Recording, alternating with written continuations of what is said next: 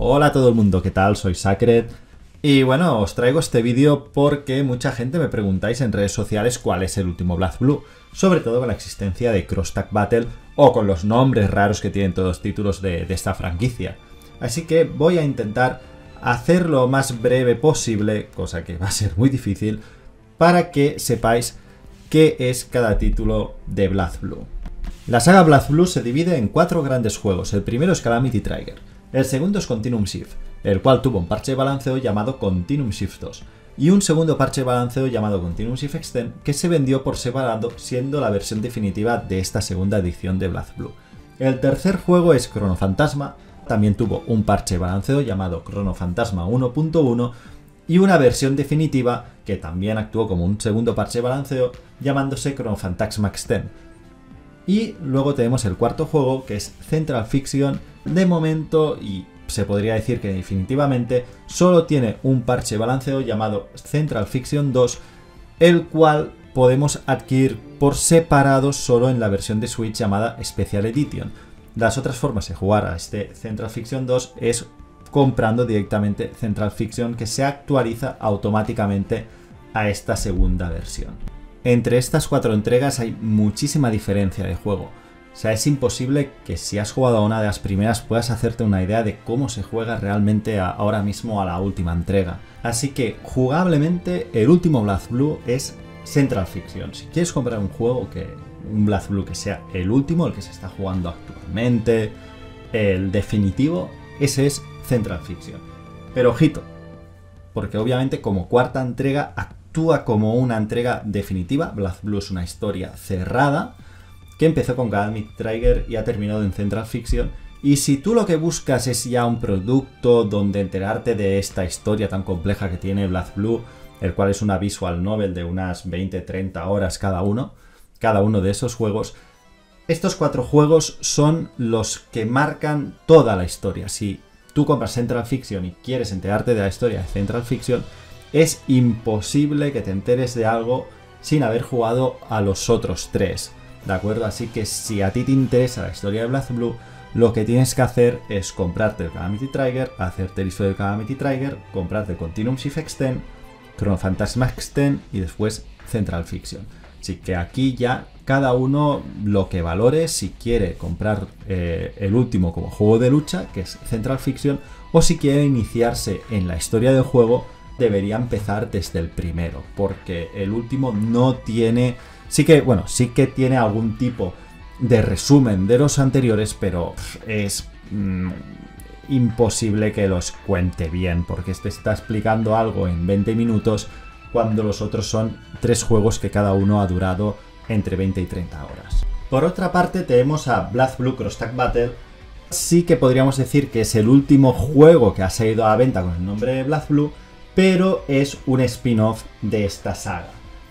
Tanto jugable como producto. Palabras del propio Toshimichi Mori, el creador de la saga, dijo que este juego debería haberse llamado Cross Tag Battle. Es un proyecto el cual son varias franquicias de juegos de lucha como Blood Blue, Under Night in Beer, Persona 4 Arena y luego tenemos Ruby entre otros invitados eh, que ha habido a lo largo de los parches de este juego que forman esta, este producto llamado Blood Blue Cross Tag Battle que tiene el título de Blood Blue porque es el universo principal del juego, el cual tiene más personajes de, ese juego y los creadores del juego son los propios desarrolladores, son Art System Works y el equipo de Blood Blue que hay detrás pero sobre todo remarcar que estamos hablando de un spin-off.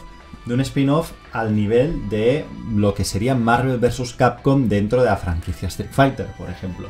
Un crossover de ensueño entre estas franquicias de anime fighting game. Jugablemente estamos hablando de algo también muy distinto, no tiene nada que ver con la saga principal, solo mantiene a personajes, obviamente, no todos, respeta bastante lo que es el estereotipo de cada personaje, pero el control es totalmente distinto. Para empezar estamos hablando de un juego tag.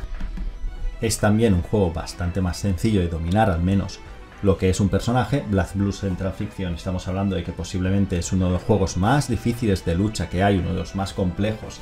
Dominar un personaje te puede costar muchísimo tiempo, mientras que Cross Tag Battle está hecho de una forma para que todo el público, todo tipo de público pueda disfrutar desde el primer momento, mucho más fácil. ¿Eso significa que es peor el juego? No, obviamente cada uno, bueno, tiene su propio juicio aquí. A mí personalmente me gusta mucho más Central Fiction, ya que no me gustan los juegos tag. Y además, eh, Black Blue Central Fiction considero que es el juego definitivo 2D que existe a día de hoy. Es un juego muy complejo, el cual te da mucha libertad de expresión con tu personaje y es muy, muy difícil terminar de masterizar al máximo un personaje.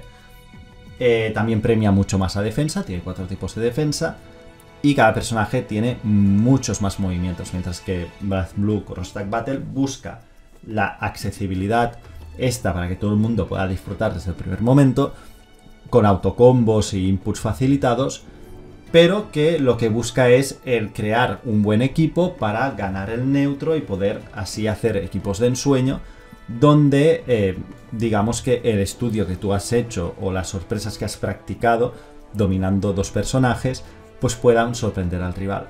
Pero ojo, aunque dominar un personaje es mucho más sencillo en Cross Tag Battle, también hay que decir que Cross, Cross Tag Battle tiene cosas bastante difíciles como son el llevar dos personajes a la vez en determinados momentos.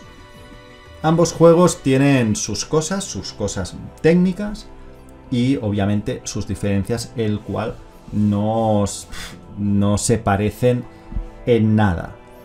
Mm, es muy extraño encontrar dos jugadores que tengan aptitudes para ser top players en Cross Tag Battle y en Central Fiction. Normalmente, por norma general, si te gusta Central Fiction, no te tira tanto el juego que es Tag Battle y viceversa.